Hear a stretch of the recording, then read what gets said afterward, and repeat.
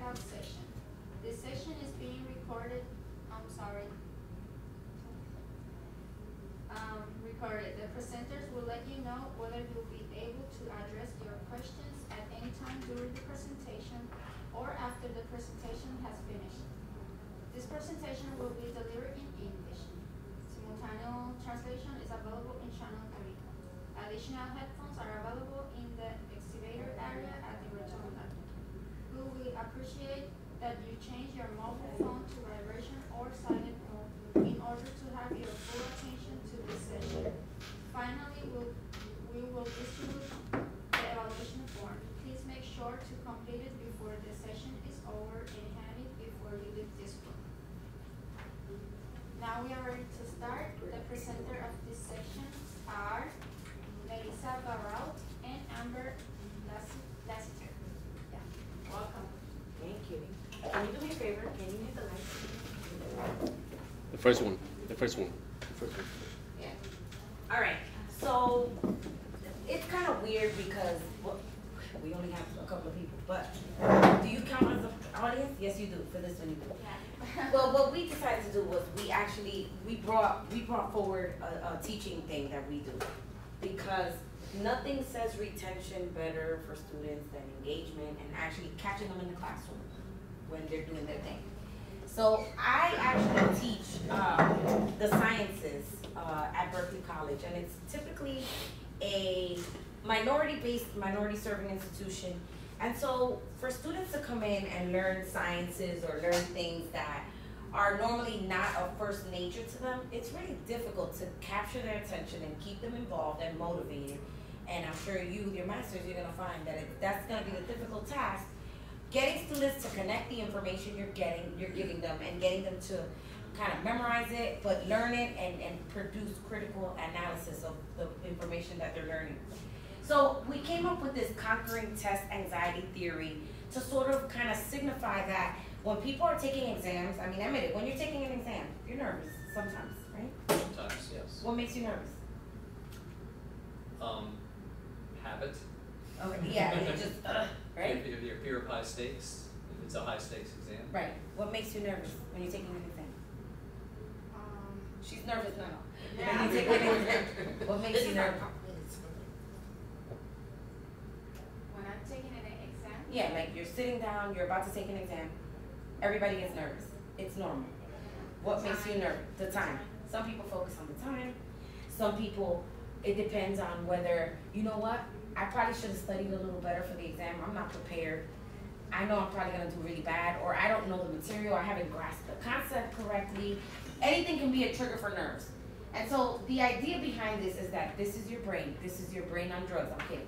This is your brain, and your brain has different sections in it, and different sections respond differently to stress and this nerve autonomic response of, I'm about to take an exam, I'm freaking out. So, you know, your thalamus, it um, actually grants a switchboard that turns on the sweating, and you get more saliva, and you start to sweat, and it's, it's just a natural response. We just learn how to kind of control it. It's like sort of the first time that you went up in front of the class to give a public presentation. Do you remember that? to some people it comes naturally, right? They can just get up and talk about anything, right? But to some people it's a struggle. They have to learn. They have to kind of participate in a different way. Um, your hippocampus is your sensory cortex, and interestingly enough, your frontal and your temporal lobe are actually uh, needed in the problem solving and the critical thinking area. So that makes sense why if somebody gets nervous and this area gets triggered or something's wrong with this area, you're not going to retain the information that you studied, especially if you're nervous. That would make sense, right? So we kind of got this this idea. I originally started this idea because I was like, well, what makes me nervous during an exam? What makes me nervous? I take good notes. I take very good notes, me personally. But some of my students don't know how to do this. Um, and they need help. So we taught them to use, you know, color tabs as reminders and colors and shapes and, and take the information as puzzle pieces and put it in a larger scale as how that piece fits to me and how that information can apply to me. You're more likely to remember something or learn something if it has direct applicability to you as an individual. Can we all agree on that a little bit? Yes. Somebody's telling you something you don't care about, you don't wanna hear it, you're just like, whatever, right? So the thing about it is, what will drive the students' interest and what will keep the students motivated? And the thing is that what we've done is, well, what I do in the classroom is I use a lot of multimedia mechanisms to kind of get students motivated and thinking outside this provo- you know, proverbial box of, you know, you read it on the text, chapter two, and here it is on the exam, A, B, C, D, E, F, G. And sort of get them thinking in a way that's more like this, because this is really how we process information. That it, it's not a series of a direct line, it's more of a an umbrella of things that help you recall information. And that umbrella can, you know, range from anywhere from order to symbols or numbers that you kind of, you know, look for in your brain or a color or maybe some kind of a movement or a song or a rhythm reminds you of information. Sometimes if you exaggerate something, you think big or large or sound can make you, re, you know, kind of recapture that information. And your senses, that your memory behaves in a way that's kind of like an interweb of different connections. And so your neurons behave that way too. So it would make sense that if you want somebody to learn something, you would encompass a little bit of everything. Or you would teach somebody how to specifically target their, their particular memory based on their learning style. So we kind of covered it in the last panel when we talked about learning styles because we know that there are different learning styles and that depending on the modality that you use best or you see best fit to learning, that's gonna be the one that you're gonna stick with and that's gonna be what you're gonna use as your principal motivator for memorizing and retaining information. So as I gave this demo in other places, but I'm not gonna do it here because I only have two people, so I'm not gonna do it here. What I do is I, I show everybody a teaching demo of, of actual, an actual page out of the textbook that I teach, right? And it's meant to scare the crap out of everybody in the audience because if you like neurons, you're like, okay, cool, yeah, I get it, dopamine, awesome. If you don't, you're gonna wanna hear what I say because what I tell the, the audience is, okay, I'm gonna give you a lecture. What I want you to do is, I want you to take a pencil and write what you can. Either write what you remember from what I'm saying to you, or write what you see. Most people will go and draw the picture. They'll draw the picture and they'll be like, all right, as, as I'm talking. So I'll go in full blast professor mode and I'll be like, okay, so this is what a neuron does. You know, neurons sit next to each other. They carry this information. Syntax is called the neurotransmitters. And those neurotransmitters give information to the next neuron and so forth and so forth. And so it's like we're at a lake and we throw a rock in and we skip the rock in the water. What happens when the rock falls in the water? What happens? What do you create in the water? A Ripple. A ripple. And neurons work the same way. That if you're affecting one neuron, you're not just affecting that one, you're affecting many things around it. So it's a big effect. And so this is what happens when people are uh, presented with dopamine, in specific uh, to cocaine. So when they take cocaine, what happens is these kind of dopamine transporters are actually blocked and dopamine doesn't behave the same. And so now you have this excitatory neurotransmitter flooding the synapse and causing that high, if you will, in a person. And so giving that explanation, I actually give them two or three minutes to kind of jot down what I'm saying. And there's a purpose to it. Which I'm not gonna give you, so that, that's what I do here. And it would have been the group time, but I'm not, I'm gonna be real, there's not enough people, let's keep going. This is gonna be a really quick one. Go. And so what ends up happening is after she gives that lecture, you use your, your notes and we present you with a question. And just so that you can see arguments here.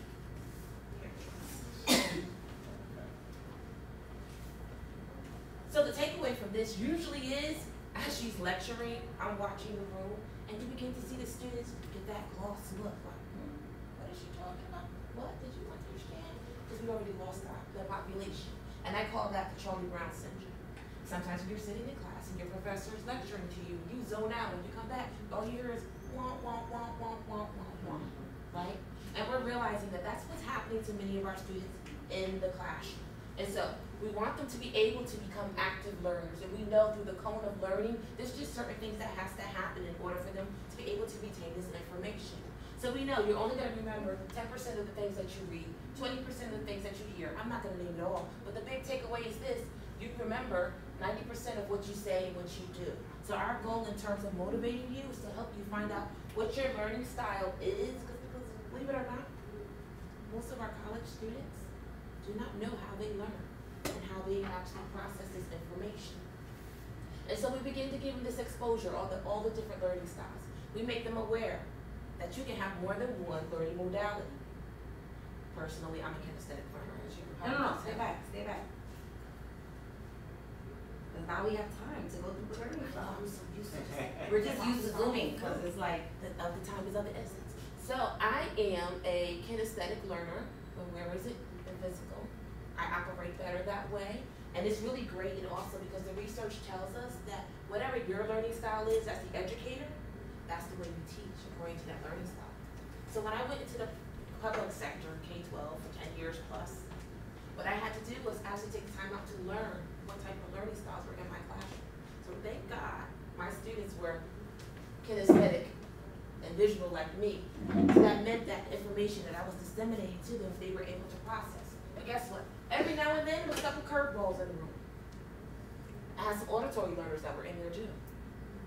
So I also had to strategically plan, as we talked about in the last session about differentiating instruction. I had to plan for those type of learning environments for them, so that way I could disseminate that information to them, and that they, they can learn from each other as well.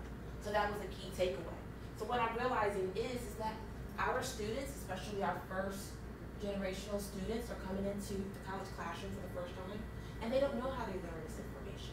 They don't realize that they need to be an active participant in the learning process. Why? Still on? yes. Okay. Because prior to coming to college, what we learned is that the professor or the teacher is there to just give you this information, and then I'm supposed to be this passive learner in learning environment and just take it all in. So when you're presented with this high order thinking task, ooh, I don't get, I don't understand. So we have to get you through that process. So what my department does is the Department of Academic Support Center. I have the privilege of overseeing two of the ten campuses, traveling back and forth, and I work with Dr. Baralt. And at that workshop, what we do is we teach the students about the different learning styles, and we help them to identify what their learning style is. At the end of that workshop, I give them a sweet tip. And the reason why it's called a sweet tip, I'll get to show it to you. How befitting. I know we usually bring like a whole package full that we had actually two here. But on there, the reason why it's called a sweet tip is because on a weekly basis, uh, one of the ways to help students to increase their retention and their study skills is that we give a strategy of the week. So whenever I give this workshop, which is known as the Learning Styles Workshop, we just offer them some study skills on. So once they're able to identify what their learning style is, so that's fine. These are some strategies that they can go back and then implement. And the reason why it's called sweet is because it's a piece of sweetness that's attached to it also, right? Because generally, students are not so prone to just take paper that's being handed out to them, so I add something there right onto it, right? So then one of the challenges that I give to the students after they identify what their learning style is, one, take a look at the list, and usually there's more that's offered. Take a look at the list and just see from that list, which ones are you currently using? Ask them. And talk about the successes and the strategies of it. Do you know your learning style? I, I think I, I think I'm a lot like you, but I'm a combination visual, kinesthetic, but also solitary. Mm-hmm. Mm, Not so much social. Yeah. okay. Kinesthetic and visual And solitude. and solitary. Alright. A combination, actually. And what was your combination? Actually, this video, these three are, are, are very much a visual, uh, auditory, and kinesthetic. Uh, can I give an example? Mhm. Yeah. So, uh, I actually, and this might, uh, be an interesting tip for you guys as well. I, when I go to conferences, I take notes with Twitter. So I have to digest that information and be able to fit it in hundred and forty characters in order to put it out there. So I really capture the essence of the conference and what I'm listening to and reading and looking, so, uh, because I, it's kind of like learning with teaching, right? So that's the way I project myself on Twitter, is that I want to be, you know, teaching in a certain way what I'm learning, and that's when I retain a lot more. Another one that actually goes with visual and also it's power presentations. Mhm. So when I have to really learn a process or a, a new way to pitch uh, a product or you know any PowerPoint presentation, anything that you do even in school is about pitching what you do, right? Mhm. And the work that you have done. And something that I use is uh, well, it's no more than ten uh, slides. Also, don't write everything down and use a lot of graphics. So something that I did for, for my company was to uh, develop this uh, deck of cards, like the regular deck of cards with the clubs and everything, and I did develop a method of why each one would go where, and I would put on an icon that would represent what I want to say when I use that card or when I see that card. So the same thing is with a PowerPoint presentation. I want to be able to look at the slide and say, I know what I got to say now, and then I and then I do it. So I write a script. I, I complement it with uh, with something visual, with an icon, and then I have to say it aloud so that, and I practice it with different people, and that's how I manage to get presentations or do any panels or anything like that. And that's one of the things that you said that is so crucial, is that our students don't remember, is that you do need that stopping moment. You have to give your brain that time to process that information. I give them the same illustration of the way your brain processes information is the same way we digest the food. It needs. And so far too often, our students come in and they're like, I read the chapter. What was the chapter about? I have no idea. And so and that's where these strategies actually come into play, as you just shared. So I'm glad you want your learning style. we use the, the, the VARK um, survey to help the students identify their learning style. And then a lot of times I like to build that relationship with them and I'll guess what their learning style is. So I'll ask them, what is your major? What is something you enjoy doing? And we go through that. I also have them stand up so that their professors, because the professors bring them to the workshop, so that the professors become aware of the different learning modalities that are in the room. It was an eye opener. I didn't get to share with you, but one of her colleagues brought his class in for the workshop. And I think it was a class of thirty students. And out of the thirty students, there were only two in the class that were reading and writing learners. And he's like, no wonder nobody's reading the text. No wonder nobody's responding to the discussion boards. And it was an eye opener to him. He's like, you know what, maybe it's time for me to figure out what I'm doing, at least to see as a way of understanding and, and checking for learning in that particular domain. So it is crucial. It's vital. It's very, very, very important. So once they have identified what their learning style is, we offer them some strategies. We let them um, talk about what strategies they may be currently using. We talk about the effectiveness of it and possibly how they can tweak it. Because the main takeaway is not to just to give you information overload. We want you walking out feeling empowered with some type of tool. And I always, because I am musical too, always encourage the students. I have a karaoke machine. So I tell them that they can come to the Academic Support Center and I have two microphones and one of them is always mine. Mm-hmm. And we get to sing through their notes as well. But that's the purpose of this workshop. In my department, you can get this workshop at any of the ten campuses and it is offered quarterly. And the purpose behind it obviously is to help you to become this autonomous learner. We're gonna talk a little bit more about the format of how we actually take this learning styles workshop of you learning what type of learner you are and those strategies and how it's implemented in the environment when you're in the test mode. But some of the key takeaways from that is is what we're gonna be focusing on now is what's known as our cheat sheet. So we, I basically, I, I did this once in college, but I never, I never got anything out of it. And then I realized that if, if you give students this kind of pseudo expectation that you're allowing them to cheat, they don't. I don't, I know that sounds crazy. Does that sound crazy? A little bit. It's sort of like if you tell somebody, don't use your phone, they're gonna use their phone.